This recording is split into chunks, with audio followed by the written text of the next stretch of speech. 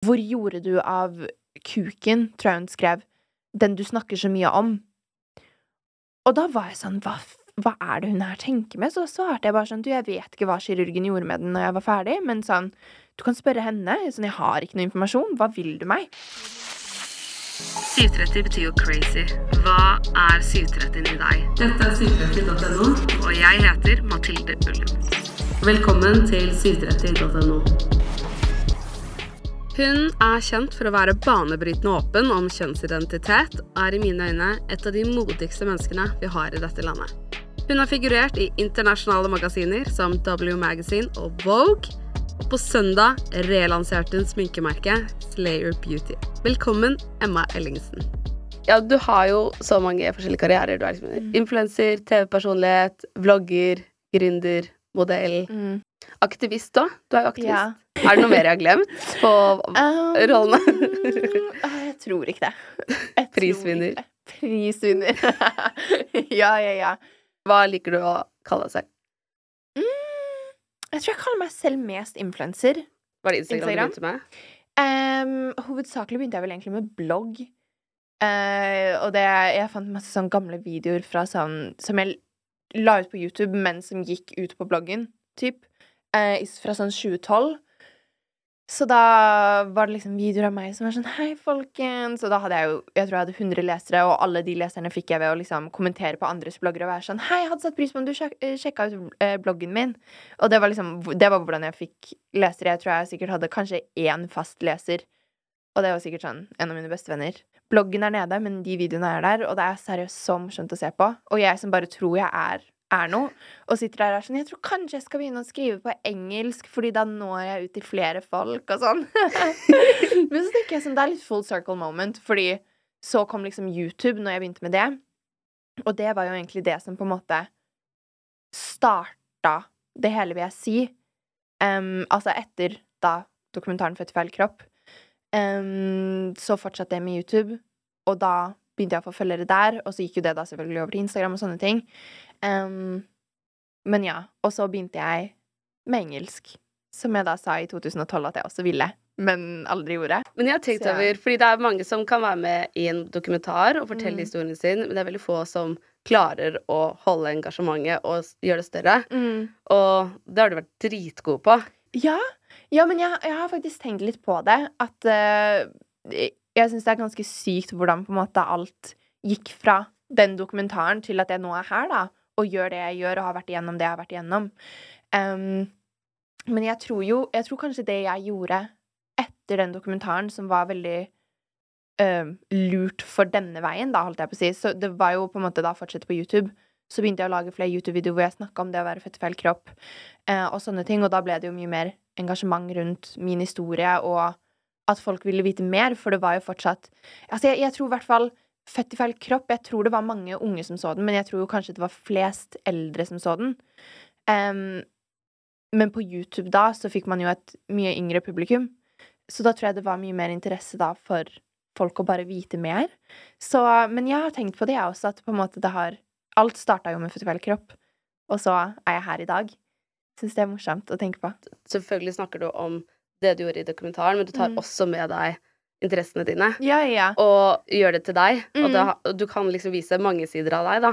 Mm. At det blir ikke bare det, og at man Nei, men det syns jeg er veldig viktig også. Jeg vil jo at folk skal vite at selvfølgelig jeg er født feil kropp, men bare fordi jeg er født feil kropp, så betyr ikke det at det er det jeg går rundt og tenker på hele dagen. Altså, jeg tenker jo på Jeg tenker aldri på det, egentlig. Jeg tenker ikke på at jeg er født feil kropp. Jeg bare lever som meg, og så har jeg mine interesser, og det er jeg veldig glad for at jeg kan på en måte ta med folk og vise, da.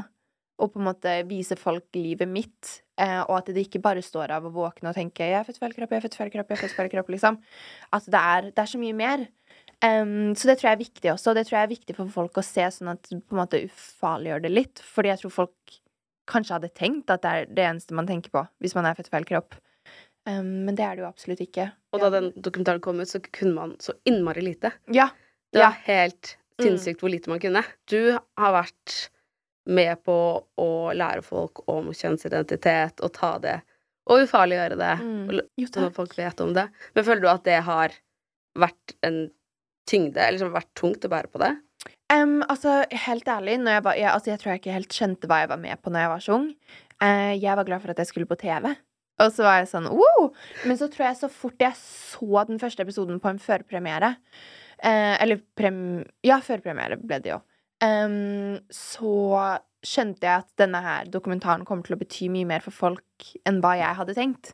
Um, og jeg tror også det går til det at det, jeg har aldri opplevd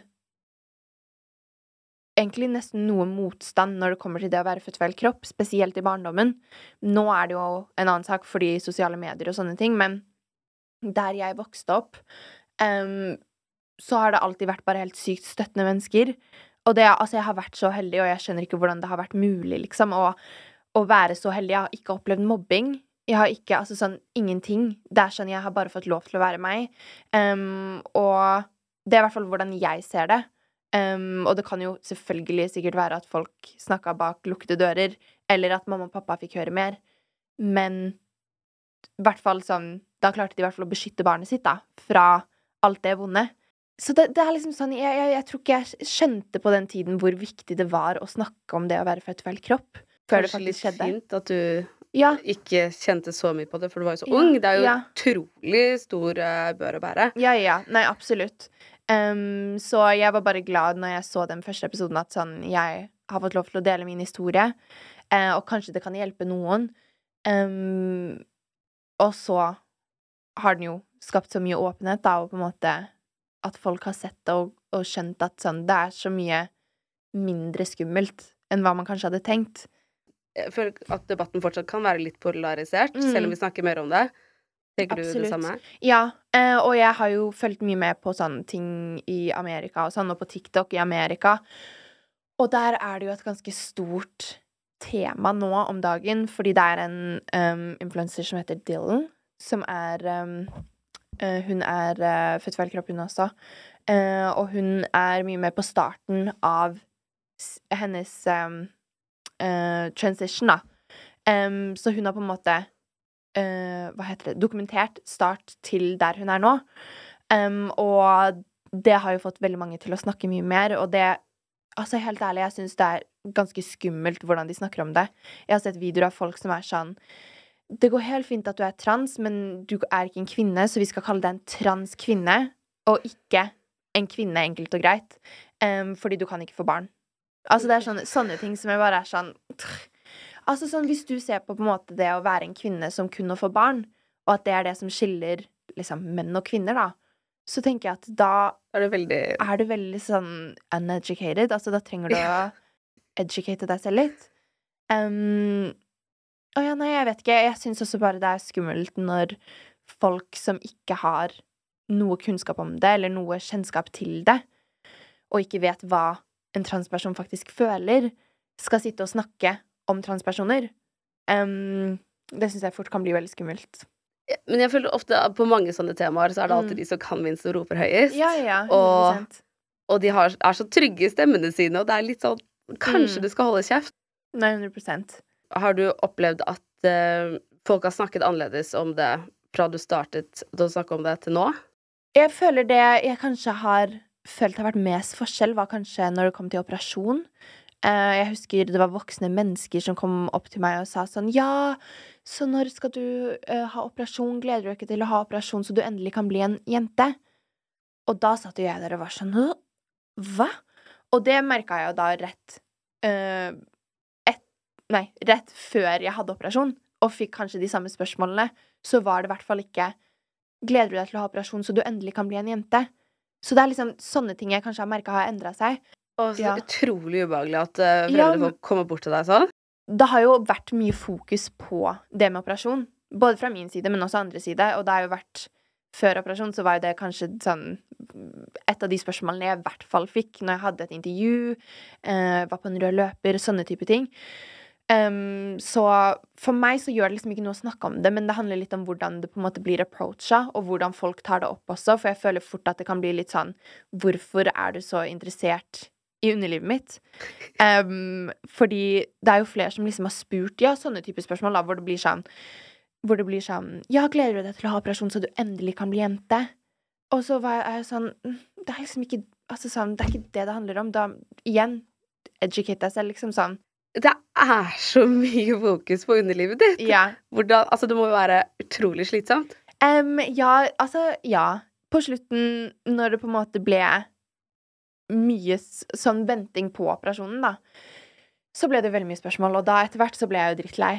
Ja. Uh, og da var jeg sånn Dere er seriøse, jeg vet ikke noe mer. Um, men samtidig så har det jo vært viktig for meg også å snakke om denne operasjonen, for jeg har hatt lyst til at det skal være en del av det jeg deler i offentligheten, eller til offentligheten, fordi de har sett på en måte alt fra start, og da den operasjonen som jeg ser på, en slutt på alt, da. Typ at sånn, nå kan jeg endelig begynne å leve, for nå er jeg 100 komfortabel med meg selv. Um, så jeg er glad for at jeg på en måte har hatt med den og på en måte delt mye om den også, men det har vært kjipt å få så mye spørsmål om det når jeg selv har sittet der og venta på en operasjon.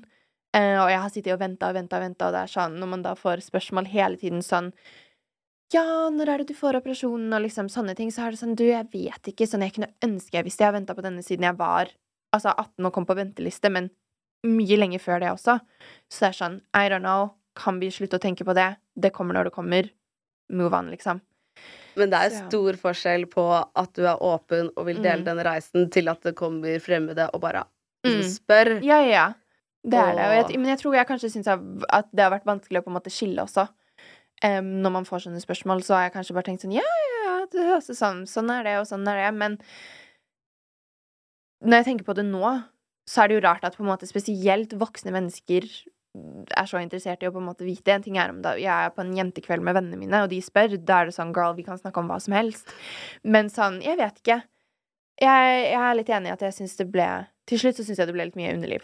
De spørsmålene jeg fikk spesielt sånn Jeg tror jeg var sånn 12, 13, 14, og da fikk spørsmål om underlivet, så er det jo sånn Jeg tenker jo tilbake på det som om jeg var ukomfortabel, men jeg tenkte jo sånn De har en rett å vite. Og det er veldig trist. Så Var det sånn at typ liksom foreldre til folk i klassen kunne komme og spørre? Eh, ja, altså typ sånne spørsmål rett ut. Men eh, Så det, det er ting jeg har tenkt på nå i etterkant som jeg bare var sånn Oi, shit, det gjorde meg egentlig ukomfortabel. Ja, hvordan er det å se tilbake på det nå? Altså, jeg, altså jeg, sånn, jeg liker å tenke mye tilbake på ting. Um, og jeg tror spesielt i den tiden hvor jeg fikk ekstremt mye spørsmål om operasjon, som var da rett før jeg fylte 18, og etter jeg hadde fylt 18, uh, og egentlig rett før jeg fikk den, så var jeg sånn Da bare begynte jeg å tenke tilbake på sånn Shit, jeg har jo fått spørsmål om det her så lenge. Uh, og så bare var jeg sånn Det er egentlig litt sånn rart at på en måte sånn Underlivet mitt skal bli en så stor sak, da.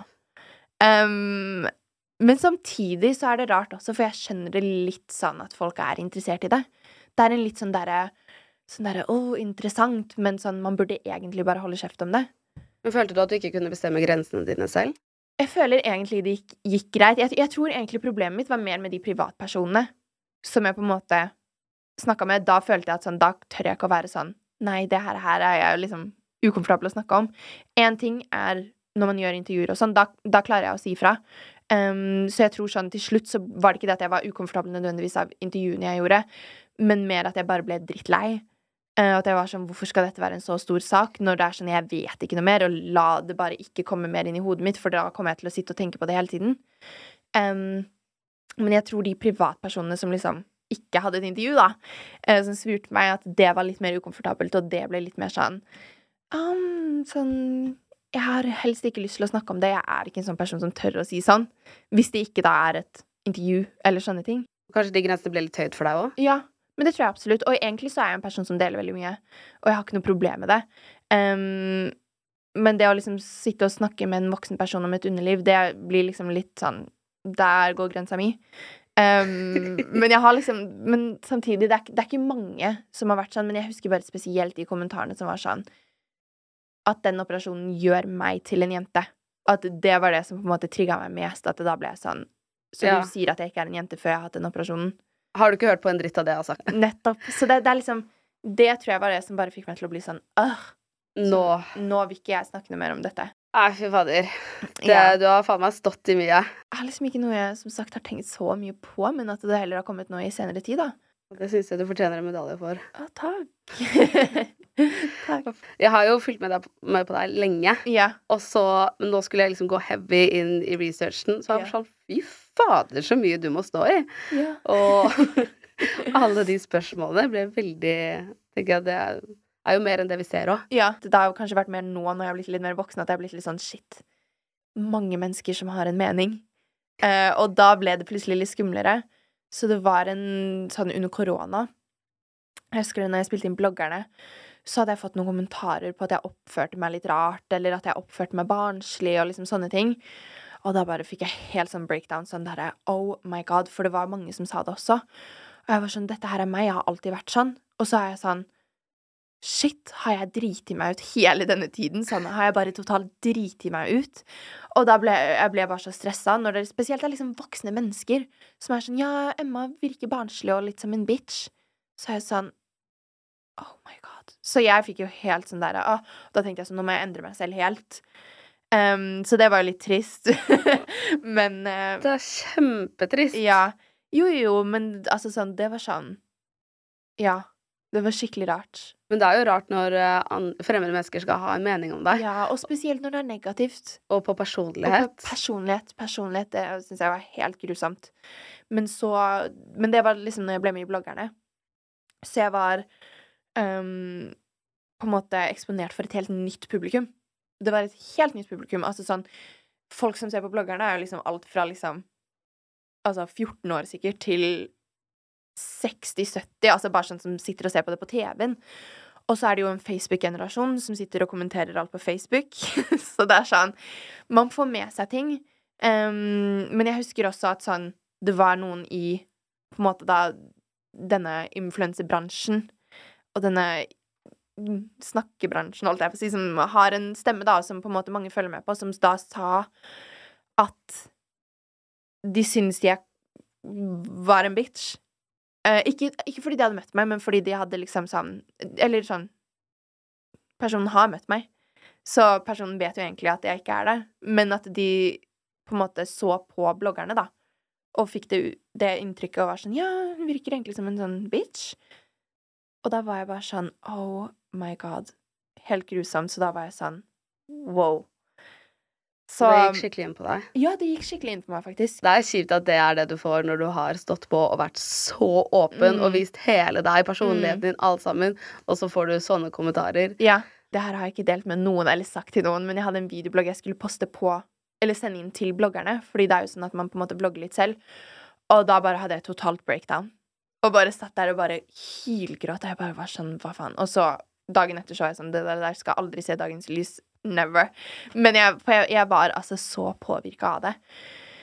Og jeg, og jeg har aldri følt det før sånn. Og det er jo folk som har sagt ting til meg før også, men det bare ble mye. Og så var jeg bare sånn, shit. Sånn, jeg bare, var, jeg bare følte at alt jeg hadde gjort og levd i, var bare en løgn. Og bare sånn, kjenner jeg ikke meg selv?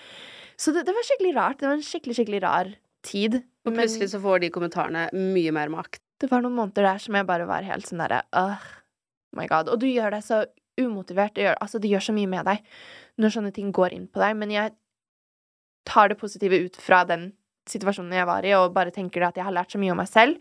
Jeg har lært så mye om at jeg ikke skal la ting folk sier, gå til meg sånn som det, da. Og jeg har jo Jeg tror også det var fordi at det var kanskje første gang jeg fikk høre noe annet enn det om å være født feil kropp. Noe negativt om meg selv utenom det å være født feil kropp. Um, for jeg har alltid bare hørt sånn 'Å, jævla transe'. Og da er jeg sånn 'Oh my god, boring'. Sånn seriøst, liksom. Fakta er fakta. Jeg er en transe. Sånn. Hm? Hva skal du gjøre med det? Ingenting. Men da når man plutselig får høre noe om personligheten din, da blir det liksom en helt annen sak. Det var bare sånn, det var rart. Det var skikkelig, skikkelig rart. Så ja. Men nå går det heldigvis fint, og jeg eh, tenker ikke noe på det nå. Jeg tenker, Hvis du syns jeg er en bitch, så bli kjent med meg. Mm. Oi, det er voksent av deg. Mm. Ja, men på ekte, og jeg, sånn, jeg vet at jeg ikke er en bitch. Så jeg lurer på hvor mange ganger jeg har sagt bitch nå. Jeg skal telle etterpå. Men jeg har en teori om at Kvinneguiden har flyttet seg til Jodel. Mm. Kvinneguiden er jeg glad for at jeg ikke fant ut av med en ung alder. Og jeg gidder ikke å la småkommentarer på en måte dytte meg ned og holde meg tilbake fra hva jeg egentlig vil. Det tror jeg også er viktig å huske på. Ja. Hvordan Mm. gjør man det egentlig? Ikke føle at de kommentarene skal holde deg tilbake fra hva du egentlig har lyst til å gjøre. Fordi plutselig så kan man bli sånn derre Oi, shit, nå fikk jeg en sånn kommentar. Nå er jeg ferdig i bloggerne. Jeg er ferdig der. Jeg skal ikke vise mer av livet mitt. Men sånn Vet du hva? This is life. folk får kommentarer om du så er en influenser eller ikke. Jeg tror det viktigste er at det ikke stopper deg fra hva du har lyst til å gjøre. Mm. At du må ikke stoppe å 100%. gjøre bloggerne, du må ikke stoppe å lage videoblogger, TikTok, Instagram Mm. og det som kommer, kommer på søndag. Kom med søndag. Woo! Ja. Vil du fortelle litt om det? ja. Slayer um, Beauty. Slayer Beauty, som da er mitt uh, sminkemerke. Um, det het jo Emma Ellingsen Beauty før, men nå har vi rebranda det til Slayer Beauty. Og jeg føler det er et navn som på en måte uh, resonates med sminken, hva vi står for, og alt sammen mye bedre. Altså sånn Slayer er jo en definisjon på liksom å drepe, basically, men sånn kill it, slaye, altså sånne ting, da. Um, jeg føler det er en mye, mye bedre vibe for sminken vi kommer ut med. Um, og så kommer vi også ut med leppeprodukter. Så vi kommer ut med tre liplinere, tre leppestifter og én gloss. Og det er sånn det beste, de beste produktene jeg har prøvd. Så jeg er sånn ekstremt gira på at folk skal få prøve det. Og jeg har jo alltid fått spørsmål om leppene mine også sånn Hva bruker du? Og liksom sånne ting. Så da var jeg sånn Det er perfekt å komme ut rett etter vi rebrander, og komme ut da med leppeprodukter. Åh, gratulerer så mye. Det er så kult. Ja. Hvordan gjør man det? Hvordan starter man et sminkemerke? Um, altså, jeg har jo på en måte da mine samarbeidspartnere som er content, som er managementet mitt, um, og de har Content Lab. Så de har jo vært altså, sånn, den største hjelpen. De er jo sånn hjelper med fabrikker, um, liksom leverandører, alt sammen. Så um, jeg er jo veldig, veldig heldig som har de som kan hjelpe meg. Um, så for meg så er det jo mer en på en måte kreativ prosess å prøve ut sminke, se om jeg liker det. um, gjøre endringer på liksom selve produktene og sånn, men de er jo på en måte de som har mest kunnskap da bak alt. Og liksom hjelper med fa fabrikker, sånne type ting. Jeg er ekstremt takknemlig for at, eh, for at de også hadde troa på meg når det kom til dette. Selvfølgelig, du er Mm. jo sminkeekspert. Ja. Vel, takk. Ja. Hvor lenge har du holdt på med det? Jeg tror sånn sjette eller syvende klasse. Det var da jeg begynte å liksom begynne, bruke litt sminke på skolen. Sånn, Starta jo med sånn maskara og litt bryn. Eh, Eller mye bryn, for å si det sånn. Men um, Ja, alle vært igjennom Ja. den perioden. Ja. Men jeg starta jo Eller jeg var jo interessert i det før også. Så sånn jeg husker søsteren min, Mia, som er seks år eldre enn meg, hun hadde masse sminke, så jeg var sånn Tok litt, brukte litt, spiste litt og Men du har alltid vært så flink. Jeg husker jeg så videoene dine mm. og var sånn Hæ? Hun har akkurat starta med sminke og er bedre enn meg! Oh my god, serr? Ja. Vel, takk. Jeg vet ikke. Altså, for meg så tror jeg det har kommet mye av at jeg liksom har sett på mye sminkevideoer.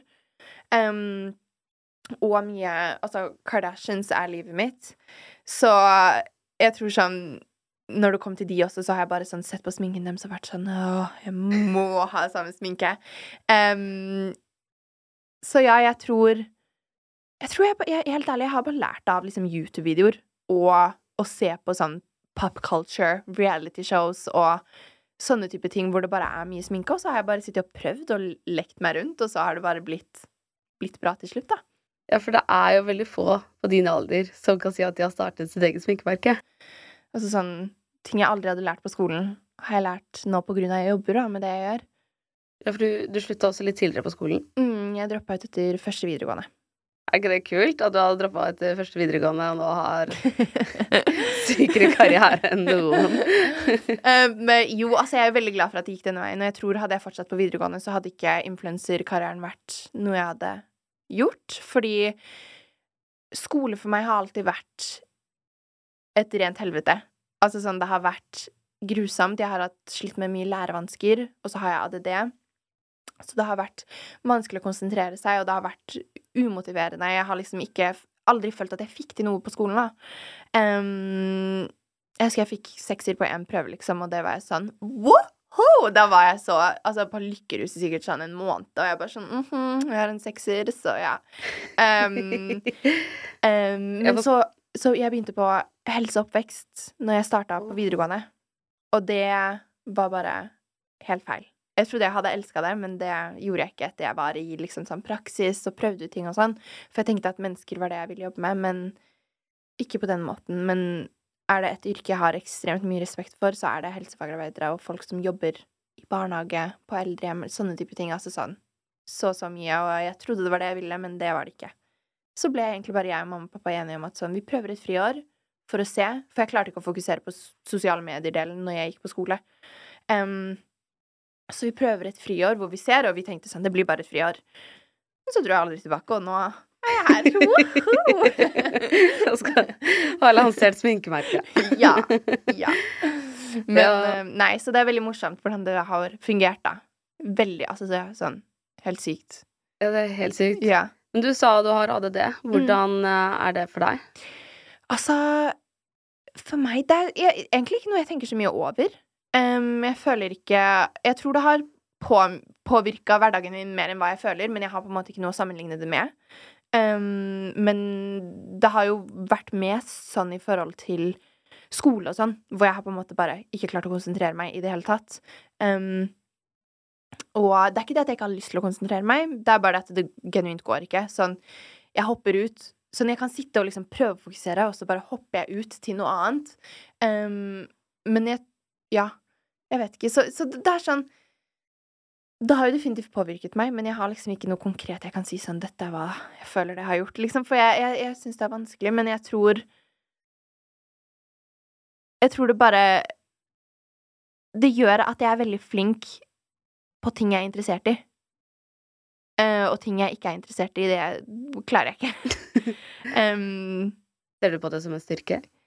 faktisk når jeg snakker om det nå, så merker jeg det at sånne ting jeg er interessert i, kan jeg alt om.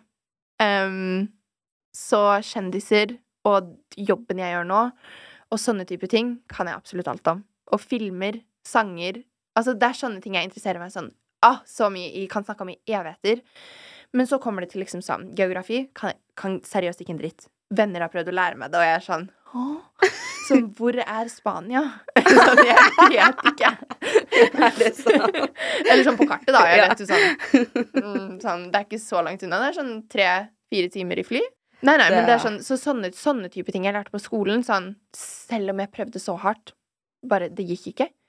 Um, men eh, nei, så ting jeg er interessert i, det, det kan jeg mye om, og det ser jeg på som en styrke, virkelig. Tar du medisiner? Nei, ikke nå. Jeg prøvde når jeg var mindre, men det var bare bivirkninger og shit. Så det er sånn Jeg tror ikke jeg har en veldig sånn sterk kan, Helt ærlig, jeg kan ikke mye om ADD. Jeg har bare fått høre i hele oppveksten sånn når jeg har vært på sånn BUPA og liksom sånne ting, at det bare er sånn ADD, ADD. Um, Kan du si hva BUPA er? BUPA, det er uh, Oh my god. Uh, jeg husker ikke for, hva Barne- og forkortelsen er. Barne- ungdomspsykiatri? ja. Uh, og så um, Nei, så altså sånn hele oppveksten min har jo egentlig vært liksom sånn BUPA. Oi. Mm, altså sånn jeg har både av ADD, dysleksi, men også det å være født feil kropp, har jeg snakket om der, for der, det var der jeg hadde psykolog. Um, så det har vært mye, men det har vært veldig fine folk der. Så det har vært sånn Ja, men jeg husker bare sånn at jeg har sittet der i sånn flere timer om gangen og hatt sånn tester for å teste liksom dysleksi-greier og lærevansker og alt sammen. Så, så sånn til slutt så tror jeg bare sånn Jeg var sånn OK, ja, OK, der Nå skal vi dit igjen. Så jeg, jeg tror jeg For meg så har jeg bare ikke valgt å ta inn så mye informasjon om på en måte hva det er jeg har. Um, og det vet jeg ikke, men jeg bare har vært sånn OK, ja. Jeg vet ikke. Det er rart at jeg kan så lite om ADD, selv om jeg 100 har det, liksom. Men det kan jo bli litt mye òg. Så jeg husker altså, jeg har vært der mye. Mye, mye, mye. Jeg husker det venterommet i Tønsberg på BUP der. Da var det bare sånn Alltid like gøy. Bare sånn drakk te. men sånn, jeg har ikke noe imot det heller. Um, men jeg bare sånn Jeg tror kanskje det ble litt mye for meg til slutt. At jeg bare var sånn derre At this point så vet jeg helt ærlig ikke hva jeg gjør her. Mamma sa det jo, men jeg bare var sånn OK. Sånn, Du bare gikk dit og gjorde Ja. som de sa? ja, så jeg husker, husker liksom under barndommen og sånn, så har det vært veldig mye sånn spesielt tester av sånn derre um, På grunn av dysleksi, og så har jeg dyskalkuli. Um, så det er sånn Si liksom Bare flere timer hvor det var sånn testing. Og da var jeg sånn derre Åh, det var jo obviously kjedelig. Um, men Kanskje det eh, mest frustrerende du kan gjøre Ja. når du har Ja, ja. ADD og dyskalkuli òg. Ja. Ehm, men nei, så det var mye Mye sånn derre testinger og mye, psykologer og sånne ting. veldig mye voksenfolk i oppveksten din. Ja. som du må forholde deg til. Ja, ja. Nei, absolutt. Tror du Um, at fordi du har vært så åpen med de, som Mm. er eh, folk som behandlere da, for deg, mm, med, på BUPA og sånn, Mm. at når du har møtt eh, media og andre voksne folk som bare spør, Mm. at du føler for å være så ærlig fordi du er vant til det? Um, ja. Altså, det kan godt være. Um, men jeg tror også det at det Jeg vet ikke hva det kommer av, men jeg tenker ikke så mye. Sånn, jeg føler genuint bare at sånn Jeg har Eller, eller det er litt løgn, for jeg tenker egentlig veldig mye. Det, det, kommer, det samler seg opp noen ganger til at det blir mye tenkning. Så jeg tror det at når jeg har intervjuer og sånn også, så bare sitter jeg og bare snakker og tenker at det er en venn. Og så kan det heller være når jeg er liksom ferdig, så er jeg sånn oh, uh, Nå har jeg delt så veldig mye.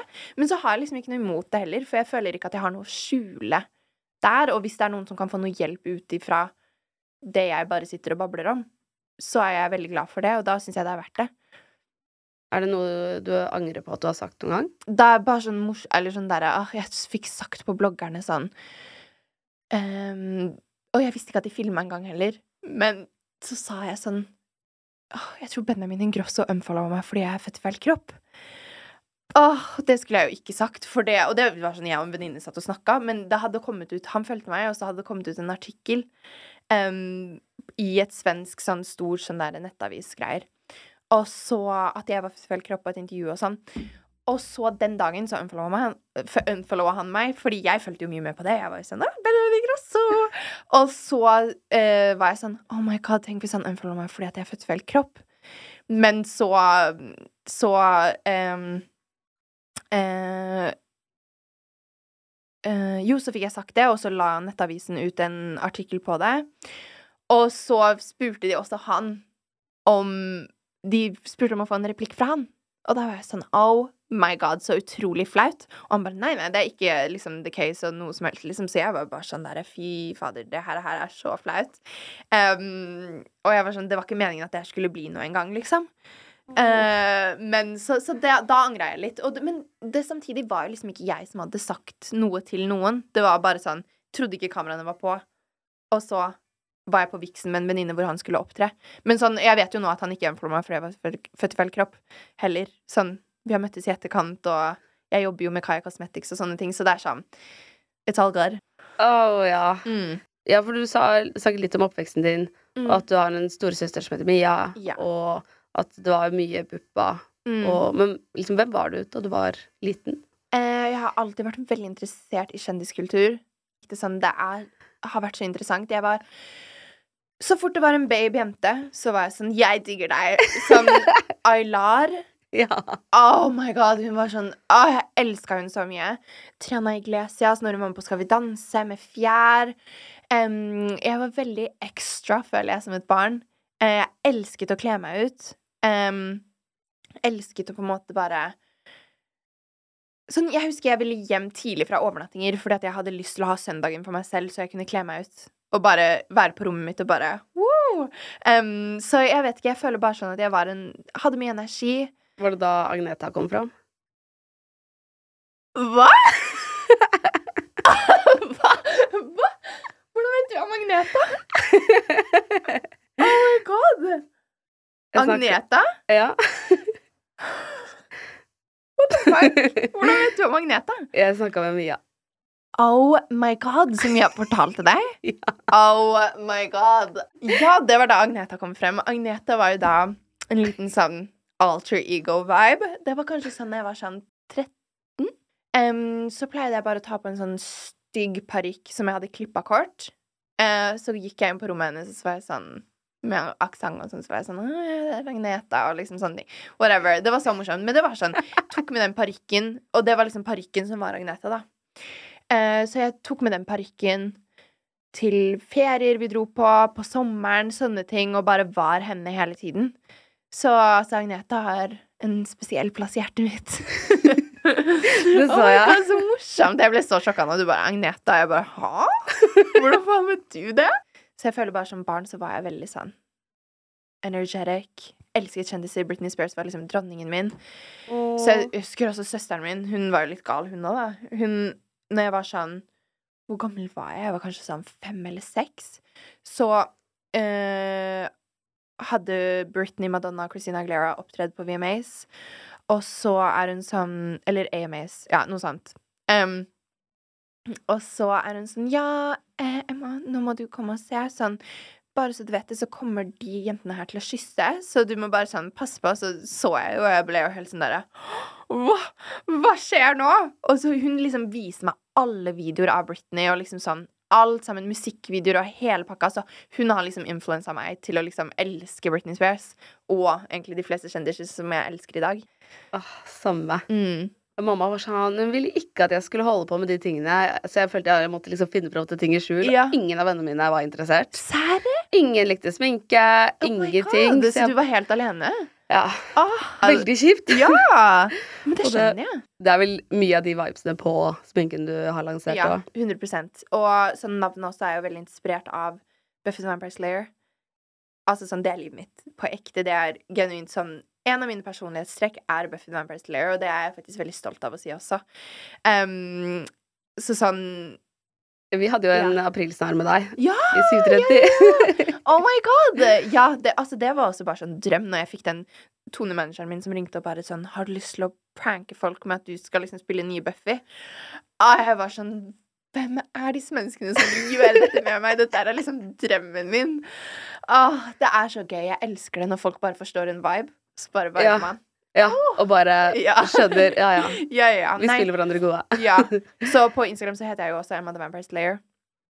Um, så, og TikTok. Så det um, var sånn Slayer, beauty.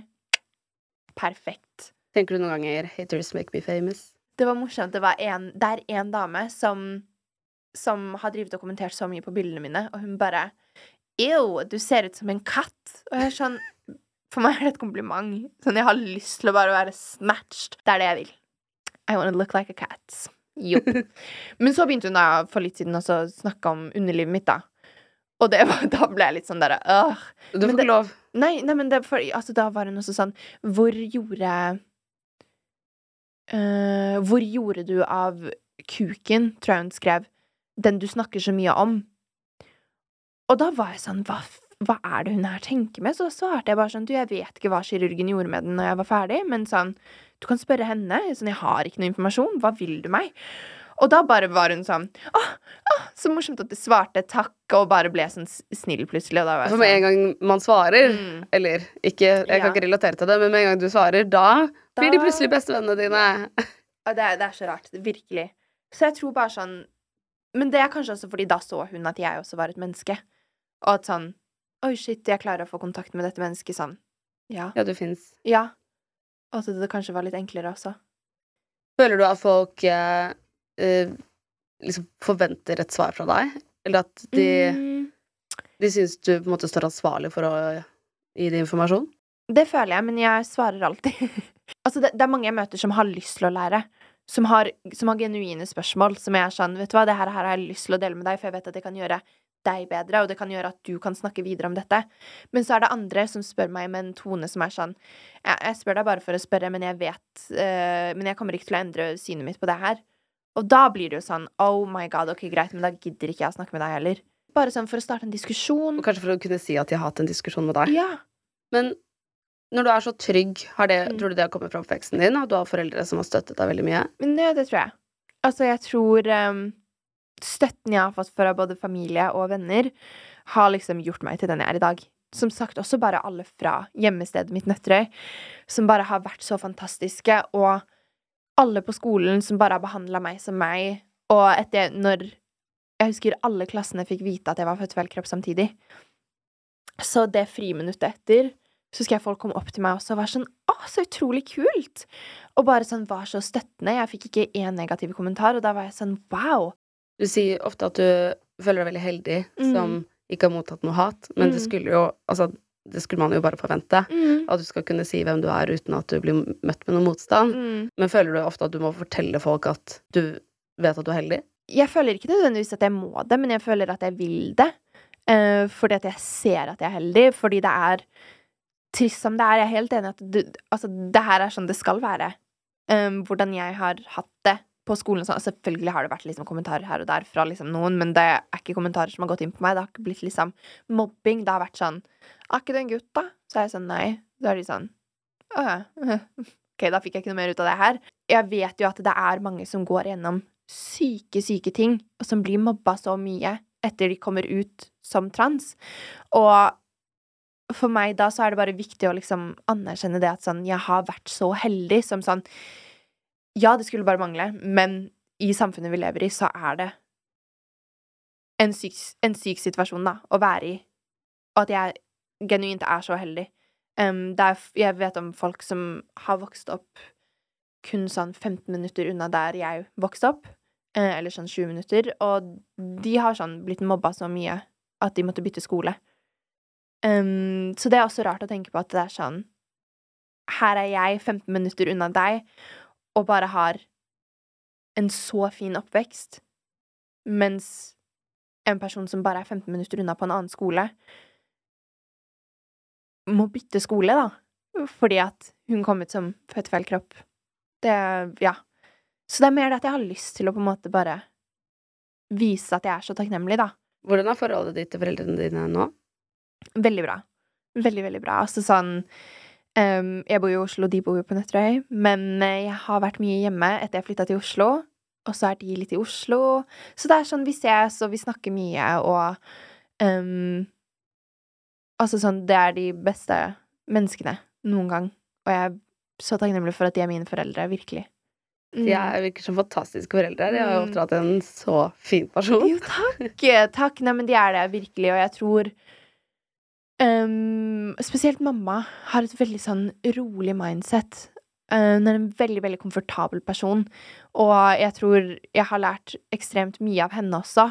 Så jeg føler virkelig at mamma er på en måte min, min sånn trygghetsperson som bare er sånn åh, føler seg så trygg. Hun har alltid en løsning på ting. Hun har bare alltid sånn derre puste, sånn rolig Jeg vet ikke jeg vet hvordan jeg skal forklare det, men eh, nei, jeg elsker, elsker mamma og pappa.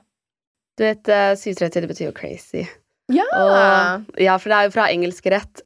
Du har gjort noe galt og skal i mm. fengsel, f.eks. Så kan du si at du, nei, jeg var ikke tilregnelig i gjerningsøyeblikket. Så da you're pleading for a 730. At man ah, ja, ja, ja. må være litt crazy for å kunne drive med det eh, for eksempel du gjør, eller okay, Kamelen, eller ja, ja. Victoria Nadine gjør. Ja. Så uh, Og så prøver vi å finne ut hva er liksom 730 i deg. Ok! Så, ok, morsomt. Ja, fordi det, du skiller deg jo veldig ut med at du har hatt en så syk karriere så lenge, og yeah. holdt på å starte så tidlig. Yeah. Jobbe så målrettet. Hva, tror du, eh, hvor tror du det kommer fra? Har jeg lyst til å gjøre noe, så gjør jeg det. Det eneste jeg har hatt lyst til fra jeg var liten, er på en måte det her. Det var det jeg sa også når jeg var mindre. Så, så når jeg var liten, så sa jeg jeg skal bli kjendis. Eller spion. Det gjør meg rørt å tenke på at på en måte lille meg også er stolt av store meg.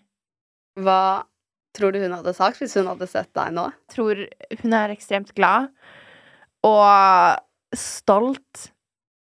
Og helt sikkert i ekstase. Ja. Sikkert sånn hopper rundt og bare wow! Har du noen ting ved jobben din som du ikke liker? Det er jo liksom kanskje mer den tankegangen rundt det man poster. Og sånn, man poster jo mye annonser og sånn når man er influenser. Og fort så kan man føle sånn Shit, det blir mye. Um, det blir mye annonser på rad. Og den overtenkingen rundt hva andre skal tenke om ting.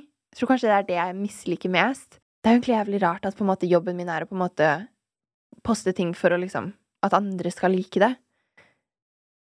Men så er det jo gøy også, da. Men, eh, men, jeg vet ikke. Så jeg, jeg, tror kanskje det. Den overtenkingen rundt hva andre tenker om deg etter du på en måte kommer ut med noe. Og spesielt hvis det er mye annonser. Jeg tror mm. annonser er det som på en måte bare er sånn uh, Som bare stresser meg mest, fordi da blir jeg sånn Shit, nå har jeg posta liksom Gina Tricot, og så har jeg posta Naked, og så har jeg posta Kai Cosmeric sånn etter hverandre, og så er det ikke noe mellom der. Så da blir man bare sånn Ja, du sa jo til 7.30 i sommer at du snakker litt med noen her og der. Ja. Um, ja, han jeg snakket med i sommer, det fungerte ikke helt. Oh. Jeg er jo litt på dateren. Så jeg liksom dater jo litt her og der, møter litt mennesker og litt gutter og sånne ting.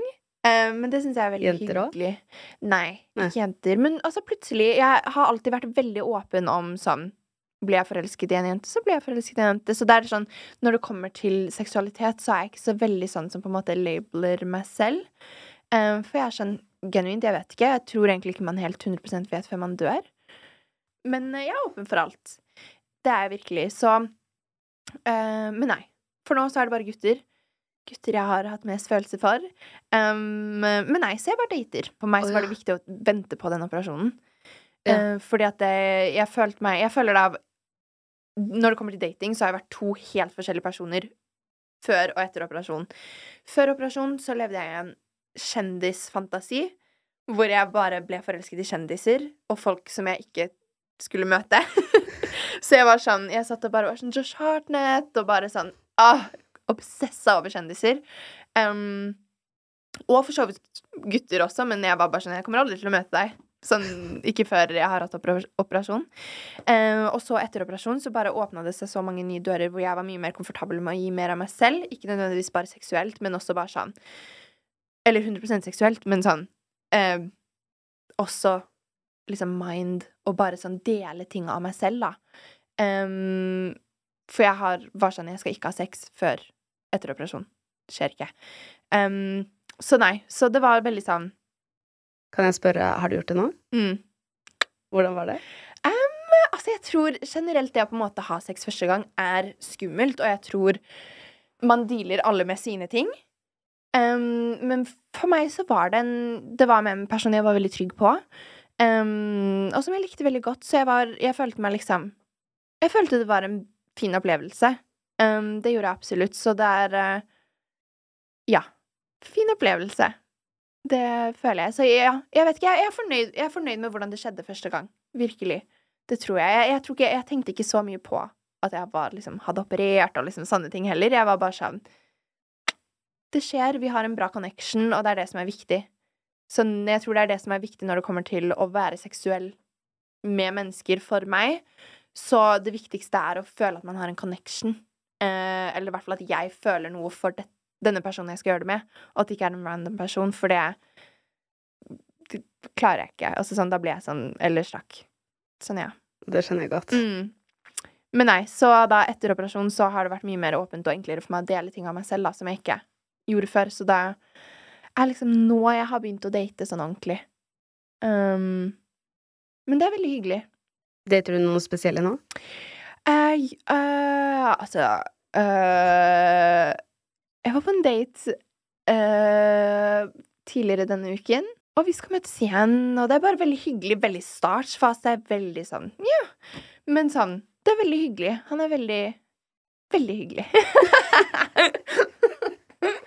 Åh, ja. Ja. Er du forelsket? Nei, jeg er ikke forelsket. Altså, sånn, jeg føler sånn Helt ærlig, jeg tror jeg aldri har vært forelska. Så jeg føler sånn Eller jeg håper i hvert fall ikke det. Jeg håper at jeg bare føler sånn Jeg er forelsket. Sjarmerende fyr. Veldig hyggelig. Så jeg håper jo selvfølgelig at vi liksom møtes igjen, og det har vi planer om. Ja. Så koselig! ja. Har han møtt de fantastiske foreldrene dine? Nei. Mm -mm. Nei, altså, det er veldig startfase. Så jeg Ja. Jeg føler sånn han kan møte foreldre hvis det liksom noen gang blir liksom seriøst sånn. Ja. Vi er ikke der. Vi er ikke der. Nei. Mm -mm. Ikke ennå. Men nei, som sagt, veldig hyggelig fyr, så Håper vi ses, hyggelig. Hvordan ses fant dere hverandre? Vi har kjent hverandre litt siden barndommen. Uh, men ikke sånn kjent-kjent, men bare sånn hvis vi hverandre var, og så har vi fulgt hverandre på Instagram en stund. Så begynte vi bare å snakke der, og så snappe, og så har vi egentlig prøvd å møtes ekstremt mange ganger før, men så har det aldri funka. Um, og så Og så bare Nå så var jeg sånn Du, hva med mandag? Ja. Og så gjorde vi det, og så var det veldig hyggelig. Um, ja, du er jo allerede en internasjonal stjerne. Har du lyst til å jobbe i utlandet? Det er egentlig det som har vært drømmen hele tiden. Um, jeg har veldig, veldig lyst. Før så var det alltid LA. Sånn alltid. Jeg har alltid sett for meg et liv der. Så var det London. Nå er jeg faktisk litt tilbake på LA. Hvor jeg har veldig lyst til å bare Ikke nødvendigvis at jeg flytter dit for godt, men sånn være der i noen måneder. Um, og sånne ting. Jeg har jo på en måte influensere derfra jeg ble kjent med. Jeg ble invitert til en bursdag nå. Det var sånn Ah, det var faktisk grusomt. Jeg hadde dratt hvis jeg, jeg hadde hatt tid, men jeg måtte jo skaffe sånn visa, visumgreier og hele pakka. Um, men hun sendte meg invitasjonen på Jeg tror det var en torsdag, og så var bursdagen lørdag. Eller om det var Hun sendte det på en onsdag, og så var bursdagen lørdag. Så jeg var sånn, jeg begynte å se på flybilletter og var sånn Sånn, jeg må dra. Sånn, jeg kommer til å møte liksom så mange av de jeg liksom kjenner på sosiale medier og sånne ting. Men eh, så kunne jeg jo ikke det. Men eh, nei, så jeg, jeg tror det hadde vært kult å oppleve liksom forskjellige steder i verden hvor jeg kjenner folk som driver med det samme som meg, da. Ja, det hadde du kledd. Mm, takk. Du hadde kledd å være en stor stjerne over hele verden. ja. ja, men jeg tror bare også det å Når jeg var i London, så møtte jeg veldig mange influensere som jeg liksom kjenner litt fra før av. Og på en måte det influensemiljøet som var der, var så sykt refreshing å være en del av også. Det var sånn Alle var bare sånn, tok bilder hele tiden. Jeg har aldri vært så motivert til å poste liksom en Instagram-story. Jeg poster ikke Instagram-stories. Sånn Jeg føler meg low-key som Norges dårligste influenser, fordi jeg bare jeg, Jo, jo, men sånn jeg sitter og har en så fin måltid foran meg. Hva gjør jeg? Jeg bare begynner å spise. Jeg tar ikke bilde av ting. Sånn, det går ikke. Og jeg kunne ønske at jeg var en sånn menneske som var sånn Fin utsikt. Ka-ching! Og så bare poste på Insta. Men det faller meg ikke inn. Åh, ikke det litt deilig? Det er litt deilig også, så Ja. jeg trives med det. Sånn, ja. Du har et liv ved siden av dette ja. Det er litt godt å høre. eh, Ja. At ikke, at ikke kamera spiser først alltid. nei, nei, nei. Så nei, men influensemiljøet, i hvert fall i London, var så sykt refreshing når jeg på en måte møtte alle. Det var bare sånn ah, Så sykt sånn digg. Var det der du ble venn med Olivia Neal? Um, nei, altså, hun Hun Det var i 2019, tror jeg, så begynte vi å snakke på sosiale medier. Og så um, har vi bare snakka frem og tilbake, og jeg under korona så har jeg planlagt sikkert fire London-turer hvor jeg har bestilt flybillett, men så har det blitt avlyst med en gang, liksom. Fordi Eller rett før det skjer, fordi enten så ble det smitteutbrudd um, Det derre Hva het det andre Hvorfor Omikron? Omikron! Ja. Omikron kom, og så da måtte jeg avlyse. Det var liksom bare sånne der ting hele tiden. Så når jeg endelig da fikk dratt, så var det jo så morsomt, fordi da um, uh, Hun ene venninnen min, Alison, uh, hun jobber som modell der, og vi er i samme modellbyrå i London. Uh, og hun kjenner også Olivia, liksom sånne ting. Så det var sånn Da uh, var det sånn Ja, Olivia fikk oss inn på et sånn afterparty på noe sånn fashion award-greier. Så vi kom jo dit, og det var bare seriøst så morsomt. Og da fikk jeg møtt alle, og liksom Ja, så det, det er sånn jeg vet ikke, så fine mennesker i London, faktisk. Og det ble jeg også sjokka over, for de er ganske store der også. Det er sånn, Vi har masse følgere og en stor liksom, fanbase. Så det var så kult å på en måte bare møte de og bare se at sånn, ja, de er som de er på sosiale medier. Så det er alltid en god følelse når man møter sånne mennesker, da. Har du lyst til å bli med på et spørsmålsrunde? Ja! Ladies and gentlemen, Instagram spørsmålsrunde. Instagram spørsmålsrunde. Um, det er veldig mange som lurer på hvor du drar ut på byen. Oh my god, hvor jeg drar ut på byen. Ok, så Er det lavvo? Nei, faktisk, jeg har ikke vært på lavvo. Ikke heller. Ah, jeg føler low-key at jeg kommer til å bare begynne å dra ut på Skaugum. Du vet Etter at du har sagt det nå, så kommer det til å være så lange køer. Har du noen gang anbefalt noe du liker skikkelig godt, og så blir du utsolgt, utsolgt overalt? For jeg hadde jo sånn moneypiece hvor jeg bleka frontpiecen i håret. Så sa jeg hvilken blekning jeg brukte, og da var det så vanskelig å få tak i den så lenge etter. Og da var Alle jeg sånn, det. er det meg? Hva, sånn, ja, altså, sånn, jeg vil ikke være høy på meg selv og være sånn, jeg fikk den utsolgt, men sånn, da var jeg sånn, jeg fikk alltid tak i denne før, men not anymore. Uh, hvem er ditt største style-inspo? Oh my god. Akkurat nå så tror jeg faktisk Kendall Jenner. Uh, det er noen som lurer på om du er singel. Det er jeg. Um, single, så ja. Dater jo litt, da. Her og der. Men jeg er singel. Nå er det noen gutter som blir glade. Hva gir deg mest frykt? altså, jeg syns døden er veldig, veldig ekkelt å tenke på. Jeg tror Det har vært perioder hvor jeg har hatt, sånn- hatt sånn skikkelig dødsangst. Hvor jeg bare har vært sånn Hva skjer egentlig etter døden? Og så hører du jo folk med dems teorier. Det er forskjellige religioner som mener forskjellige ting. Så genuint, man vet ikke hva som skjer. Ikke nødvendigvis å dø, men hva som skjer etter døden. Mm. Og man på en måte lever livet feil for at man skal oppnå lykke etter, etter død, da. Den eneste måten å få svar på, er jo det. Ja, nettopp. Tror du på livet etter døden? Jeg tror på livet etter døden. Men jeg håper at det bare blir helt sort. Altså sånn, Jeg håper at jeg kan være der i min egen begravelse, og så blir det bare helt sort. Det hadde vært veldig deilig. Jeg drømte en gang at man får en statistikk Mm. over alt du har gjort, liksom. Hvor mange ganger har du gjort andre glade? Hvor mange Oi. ganger har du gjort andre lei seg? Ja. Jeg følte det her kunne vært en film, egentlig. Oh my Også, god. Og liksom hvor mange gruppechatter har det blitt nevnt? Og, og liksom hvor ofte har du snakket positivt om andre ja. og negativt om andre? Hvem har du egentlig vært? Oh my god. hva- For å få en sånn skikkelig sånn derre Hva angrer Ja. du på? Eller Oh sånn. my god, men det hadde vært kult. Og jeg tror, jeg, jeg tror veldig på karma.